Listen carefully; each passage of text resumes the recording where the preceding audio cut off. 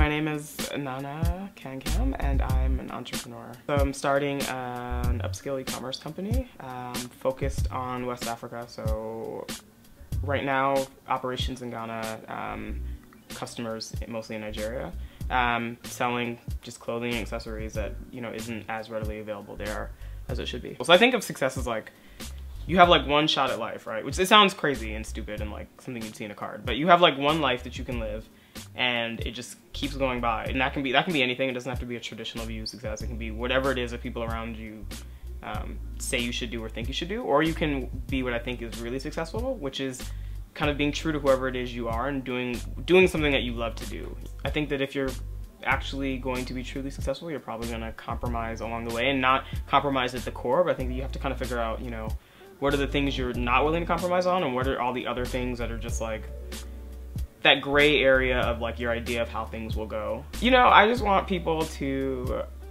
just do what makes them happy. Like I just think people should just really stop and like do what makes them happy. People don't do that. People either, you know, are these drones that just feel like, like I said, this traditional idea of success and what you should do if you have all these opportunities. And like people just either do that, I think, or they just become like, and like they're either happy or unhappy, or they're, they don't take advantage of like their opportunities and they don't become what they could have become. So I just think that like people should try really hard and people should hopefully become happy as a result of that. You know, just a person you become when you challenge yourself and when you remain committed to, you know, seeing something through and trying really hard at it is always kind of an iteratively better than what it was before.